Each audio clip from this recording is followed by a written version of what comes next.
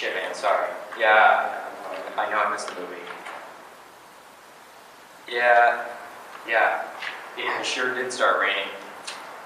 Well, now I'm in some kind of like, I don't know, warehouse, factory thing, and it looks like there was a fire in here at some point.